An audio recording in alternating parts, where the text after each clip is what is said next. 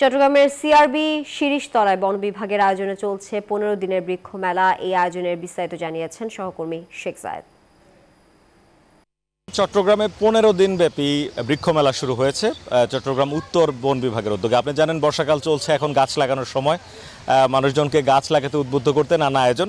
এখানে বন বিভাগের উদ্যোগে আয়োজন, যেহেতু আপনি দেখবেন যে বিভিন্ন বন্য প্রাণীর অবয়ব তারা এখানে রেখেছেন, অর্থাৎ এগুলো কিন্তু আসলেই বন্যপ্রাণী, যেগুলো মারা গেছে প্রক্রিয়াজাত করে সেগুলোকে এইভাবে আসলে রাখা হয়েছে।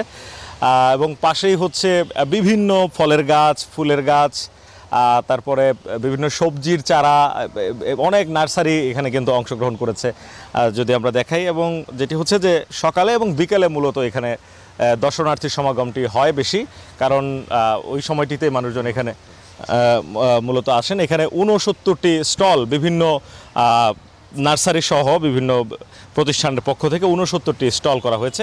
ঠিক আমার পিছনে যেরকম অনেক ফলজ এবং কাঠের গাছের যেরকম বনজ গাছের চারা দেখতে পাবেন, এই পাশটিতে যদি আমরা একটু দেখাই, এখান থেকে একেবারে শেষ মাথা পর্যন্ত, এটি সিআরবির যে মাঠটি রয়েছে চট্টগ্রামের, সিআরবি মাঠে মূলত আয়োজন।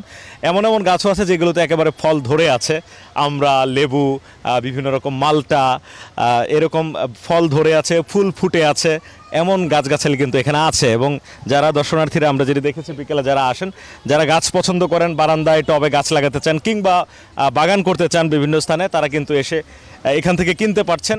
এছাড়া যারা নার্সারি ব্যবসা করেন বা যাদের কাছে চারা পাওয়া যায়, তারা মূলত তাদের ঠিকানা বা তাদের অবস্থান, লোকেশন বলে দিতে পারেন যে, আপনাদের যদি চারা লাগে, যোগাযোগ করতে পারেন।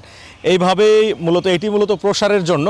আর একই সঙ্গে যে আয়োজনটি, পনেরো দিন ব্যাপী আয়োজন, আজকে যিনি আসছেন গাছ দেখে যাচ্ছেন, আরেকদিন এসে কিনে নিয়ে যাবেন।